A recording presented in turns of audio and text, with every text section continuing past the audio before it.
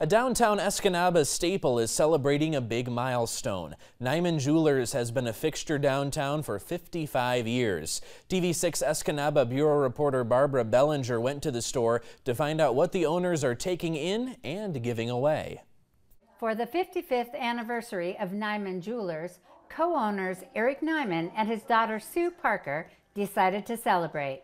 This has been a month-long celebration. Um, it has been a wonderful, it's very heartwarming that we can give back to the community when we can.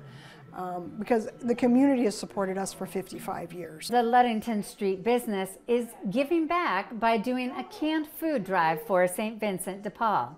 We have a lot of food that we have gathered and we're giving away prizes. You can get a prize ticket just by coming in the door bringing a friend, or buying something. The staff puts one half of your ticket in the tumbler. And then hopefully they draw it back out again for a prize.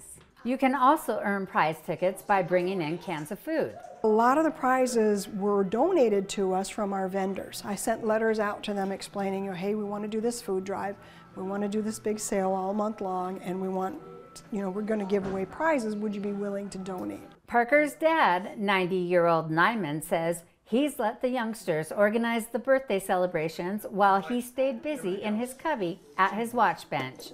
Well, there's 24 hours a day, you got to do something. So I spend my time here. However, he was recently given a new job. They promoted me here too. I am chief gopher. Nyman says he hopes to be around in five years for the next big celebration. Until then, he plans to get up each day and go to work. Tomorrow is the last day to get tickets to put in the prize drawing. Barbara Bellinger, TV6 News, Escanaba.